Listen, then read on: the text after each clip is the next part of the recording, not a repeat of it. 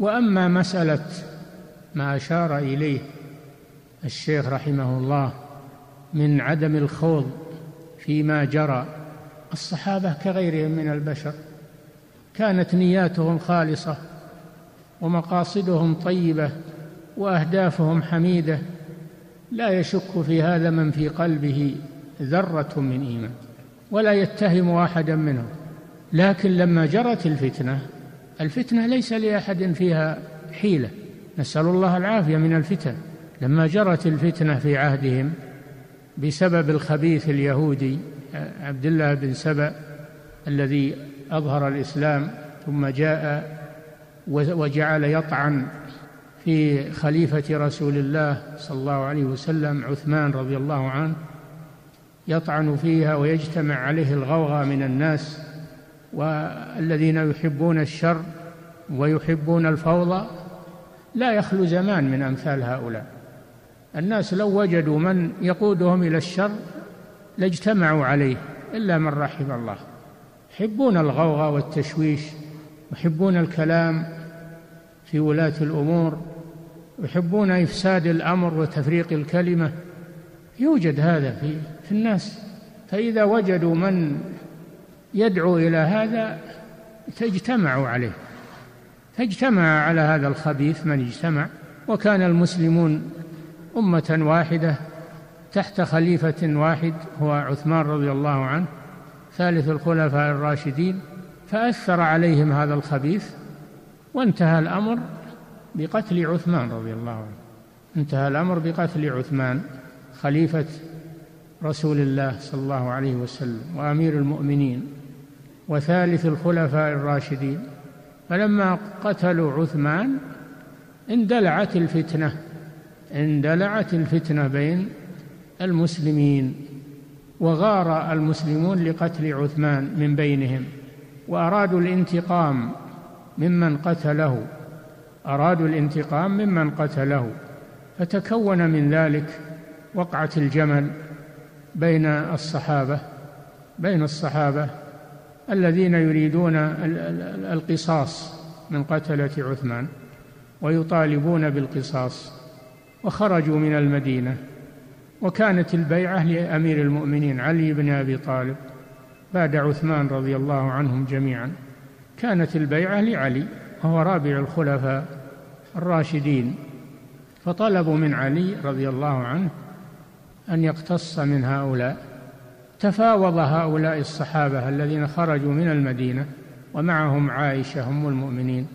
تفاوضوا مع علي على أن يسلم هؤلاء القتلة ولكن علي رضي الله عنه لم يتمكن من من تسليمهم لأنهم تسللوا في جيشه وجعلوا يعملون الفتنة. لكن بات علي وإخوانه طلحة والزبير و وعائشة ومن جاء من المدينة باتوا متصالحين باتوا متصالحين. فلما أحس هؤلاء بالتصالح بين صحابة رسول الله كف القتال هيجوا الفتنة وأظهروا أظهروا آه، الحرب تناوشوا وصاحوا صاحوا في الجيش وظن الصحابة أن أن أن الحرب قامت في حين أنها بتهييج من هؤلاء الخبثاء. فدارت المعركة بوقعة الجمل. من غير قصد من الصحابة وإنما الذي أذكاها هم هؤلاء الذين قتلوا عثمان رضي الله عنه.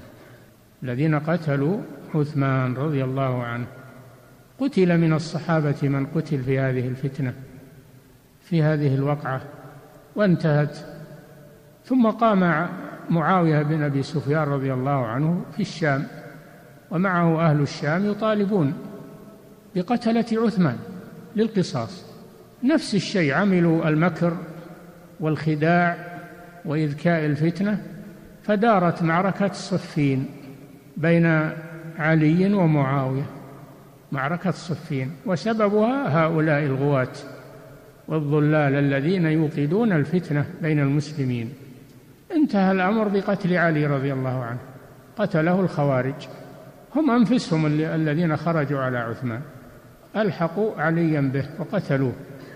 شوف ما هو قصدهم العدل والإنصاف؟ قصدهم الحقد والانتقام. فقتلوا علي رضي الله عنه. وأرادوا قتل معاوية لكن الله نجاه منهم. أرادوا قتل معاوية وعمر بن العاص لكن الله نجى معاوية وعمر بن العاص ونفذ قدر الله في علي رضي الله عنه. فاستشهد رضي الله عنه. كله بفتنة هؤلاء وشر هؤلاء.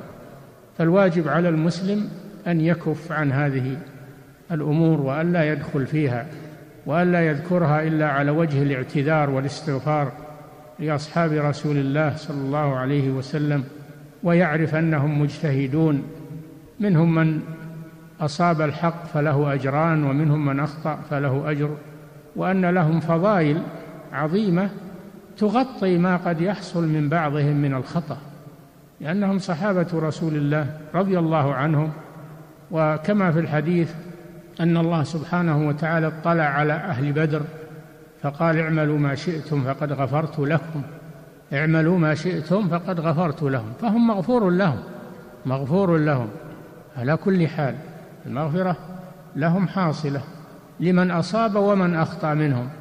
والذي أخطأ ليس عن قصد وإنما هو عن اجتهاد فيجب على المسلم أن لا يدخل في هذا أبدا ولا يخطي أحدا من أصحاب رسول الله صلى الله عليه وسلم بل يعتذر لهم ويستغفر لهم ويترحم عليهم فيكون من الذين قال الله جل وعلا فيهم والذين جاءوا من بعدهم يقولون ربنا اغفر لنا ولإخواننا الذين سبقونا بالإيمان ولا تجعل في قلوبنا غلا للذين آمنوا ربنا إنك رؤوف رحيم.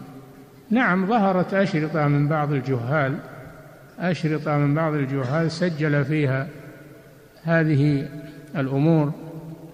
وما جرى بين الصحابة وأخرجها بأشرطة يتداولها الناس فهذا لا يخلو إما أنه جاهل ولا يدري ولا درس العقيدة وإما أنه مغرض يريد أن يبث البغض لأصحاب رسول الله صلى الله عليه وسلم.